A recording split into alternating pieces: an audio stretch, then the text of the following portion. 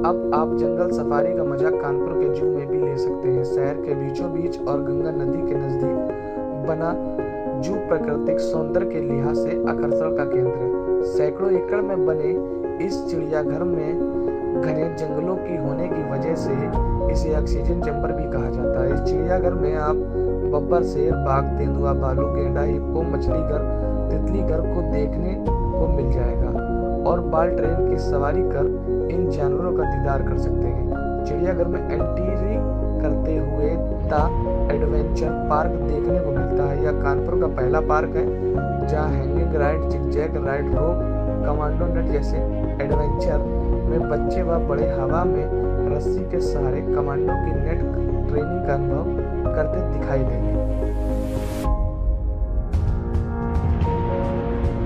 चिड़ियाघर में करीबन 15 वर्षों के बाद जंगल सफारी खोली गई।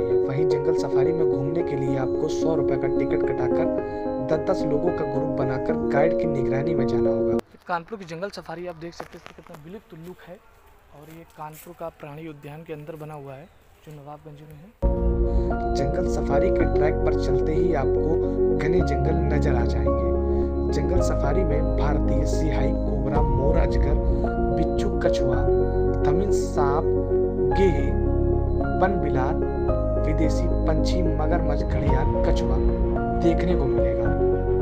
है और हमारा ऑर्गेनाइजेशन है स्पॉन जो वाइल्ड लाइफ कंजर्वेशन के लिए काम कर रहा है कानपुर में। तो इसी के अंडर में हम लोगों ने कानपुर जू के साथ ये जू सफारी के लिए हम लोगों ने टाइप किया है। और इसी में हम लोग ग्रुप्स का सफारी टूर्स यहाँ कंडक्ट कराए जिसमें माइग्रेटरी स्पीसीज़ की बर्ड्स हैं उसका पूरा टूर कराते हैं उनको दिखाते हैं बर्ड्स को यहाँ पे। हम्म। जितने भी टूरिस्ट हमारे पास यहाँ पे आ रहे हैं।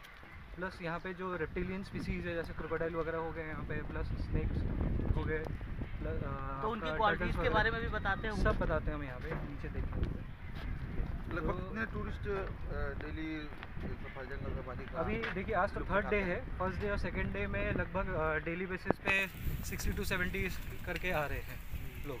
तो इनिशियली देखा जाए तो काफ़ी अच्छा है फुटफॉल जनरली जंगल वाइल्ड लाइफ अच्छा, नेचर आपके अलावा और भी क्या यहाँ पे कोई गाइड वगैरह है कि हमारे साथ एक नेचुरलिस्ट है जो स्पॉन्स में ही हम लोग दोनों ही पार्टनर हैं। ऋषभ है और मैं हूँ ऋषभ पांडे नाम है उनका। मैं विरल पॉल हूँ। तो हम दोनों ही इन टूर्स को कंडक्ट कर रहे हैं यहाँ पे। उन्हें यहाँ के पशु पक्षियों के बारे में बताते हैं व सावधानी बरतने की बात भी कहते हैं। इस जंगल में कई जीव सहित जहरीले सांप है जो आपको नुकसान पहुँचा सकते हैं। कानपुर से सहयोगी महेश सोनकर के साथ आदर्श श्रीवास्तव की रिपोर्ट।